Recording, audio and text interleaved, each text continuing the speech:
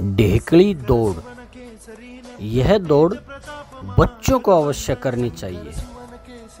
इस क्रिया से पूरे शरीर की एक्सरसाइज हो जाती है।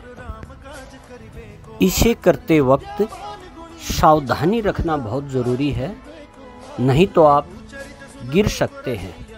गिरने का इसमें भय रहता है, चक्कर आ सकते हैं। तो इसे सावधानी पूर्वक करें। अपने शरीर का हाथों पर बैलेंस बनाते हुए इस क्रिया को करें।